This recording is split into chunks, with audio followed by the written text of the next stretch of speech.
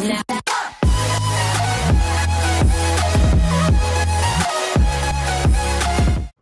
các bạn. Hôm nay chúng ta sẽ cùng nhau tìm hiểu tiếp về các đặc điểm tiếp theo ở trong à, lập trình đối tượng à, với Java. À, thì hôm nay là thầy giáo mưa sẽ tiếp tục giới thiệu với các bạn một cái đặc điểm nữa đó là chúng ta sử dụng từ khóa this ở trong Java. Thì thực ra từ khóa this này ấy, là từ khóa mà được à, dùng à, không chỉ ở trong Java mà có rất nhiều các cái à, ngôn ngữ khác, ví dụ như JavaScript, ví dụ như C cộng cộng hoặc là C Sharp cũng sử dụng từ khóa this này Đấy. và hầu như nó cũng có ý nghĩa giống nhau thôi thì từ khóa this là một từ khóa mà dùng để chúng ta đại diện cho đối tượng hiện tại đang thao tác. Có nghĩa là khi mà các bạn đang khởi tạo đối tượng nào thì zip đại diện cho đối tượng đó. À, đấy là thứ nhất. Ý nghĩa thứ hai à, từ khóa zip dùng để truy cập đến các thành phần của lớp đến các thuộc tính của lớp. Thì để cho rõ hơn thì chúng ta sẽ cùng nhau tìm hiểu. Ở đây tôi sẽ định nghĩa ra một lớp à, có tên là my class. My class. Đó. Ở trong lớp này thì ờ, tôi sẽ ờ, định nghĩa ra một cái tôi khai báo một phương thức. Tôi khai báo một cái thuộc tính có tên là biến thể hiện. Đó. Chúng ta nhớ là những cái biến nào mà khai báo ở trong một lớp thì đó sẽ là các cái thuộc tính của lớp hay còn gọi là biến thể hiện. Đấy, vì à, những cái thuộc tính đó ấy, thì mỗi khi mà chúng ta khởi tạo một đối tượng của lớp thì đối tượng đó sẽ có một cái bản copy của những biến đó. À, vì vậy cho nên nó còn được là biến thể hiện hay thuật ngữ ở tiếng Anh còn được gọi là instant variable. Đó, biến thể hiện. À, tiếp theo tôi sẽ định nghĩa một constructor của lớp. Constructor thì như chúng ta đã biết Ờ, thầy giáo mưa cũng nhắc lại, tức là đó là những phương thức đặc biệt ờ, sẽ được gọi khi mà chúng ta ờ, khởi tạo các đối tượng của lớp. Và cú pháp, về mặt cú pháp thì constructor sẽ có hai đặc điểm. Thứ nhất, đó là tên của nó sẽ trùng với tên lớp. Và thứ hai nó không có kiểu trả về, đúng không ạ? Ở đây tôi sẽ có cái tham số cũng tên là biến thể hiện.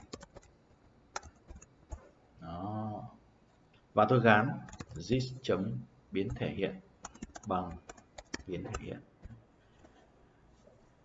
ở đây chúng ta đã cố tình đặt tên thuộc tính và tên tham số đầu vào của phương thức constructor là giống nhau.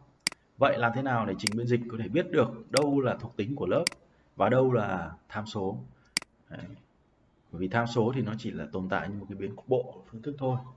Thì để mà phân biệt được là thuộc tính của lớp thì chúng ta thông qua từ khóa this thì khóa this này giúp chúng ta biết được à đây là tôi đang truy cập đến cái thuộc tính của lớp là biến thể hiện. à, thế còn cái mà ở phía bên phải của lệnh giá này thì đó là cái tham số của cái phương thức khởi tạo. Và tôi in ra. System out print. Đó tôi in ra. Đúng chưa?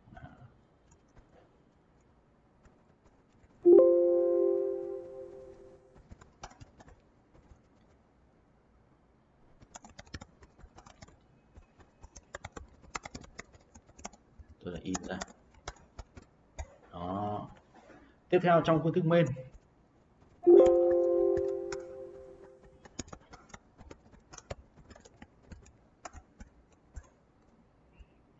Vì sao mà các bạn có thể thấy là à, thầy giáo mưa có thể à, rất dễ dàng để mà gõ ra những đoạn mã này? Đấy, mà không cần phải nhìn vào một cái uh, bài ví dụ nào cả. Bởi lẽ là để mà có thể cốt được thành thạo chúng ta phải trải qua rất nhiều cái uh, luyện tập cũng như là các cái dự án thực tế đúng không ạ? Và để có thể trở thành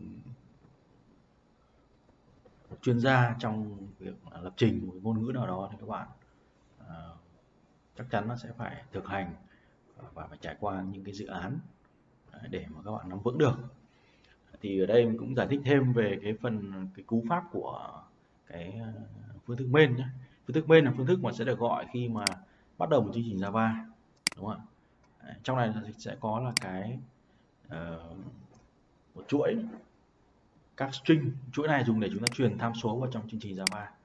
Đấy. public có nghĩa là gì ạ? Phương thức này là public mức truy cập rộng nhất là chúng ta có thể truy cập được ở bất cứ đâu. Đấy. void có nghĩa là phương thức main là không trả về một giá trị gì cả. Vậy còn static nghĩa là như thế nào? Người ta hình dung là hàm main là hàm mà sẽ được gọi trước bất cứ một cái lớp nào, đúng không hàm main nó vai trò như một cái cổng ra vào đối với một chương trình Java. Vì vậy cho nên là à, chúng ta cần phải gọi được hàm main trước khi mà khởi tạo đối tượng.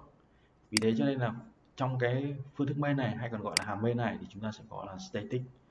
Để nó có thể gọi được, máy ảo có thể gọi được trước bất cứ một cái lớp nào vì vậy cho nên cú pháp của nó nó sẽ là à, public gọi là bất cứ đâu và static. Sau đó chúng ta khởi tạo đối tượng của lớp my class.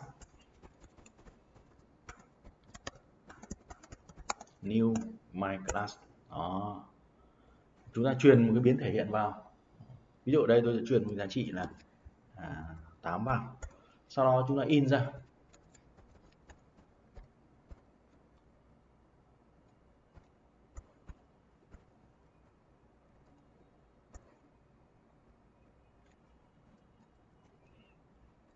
Có lẽ cũng không cần phải in ra làm gì cả. Chúng ta sẽ à, chạy chương trình để xem giá trị của biến thể hiện nó sẽ là bao nhiêu. Ở đây chúng ta xem. Đó thì như vậy chúng ta có thể nhìn thấy là biến thể hiện đã in ra là 8 rồi. Bởi vì trong constructor đã có một câu lệnh in rồi. Đấy, chúng ta in ra giá trị của biến thể hiện đây là 8 Đấy. như vậy chúng ta có thể thấy là uh, từ khóa this dùng để cho phép truy cập đến các cái à, thuộc tính của lớp và cũng là để chúng ta phân biệt giữa đâu là thuộc tính của lớp và đâu là cái ờ, tham số hay là biến cục bộ của các phương thức ở trong lớp. Ờ, như vậy chúng ta cùng nhau tìm hiểu về ý nghĩa của từ khóa this ở trong ờ, lập trình của đối tượng của Java. Xin chào và hẹn gặp lại các bạn. Chúc các bạn học tốt.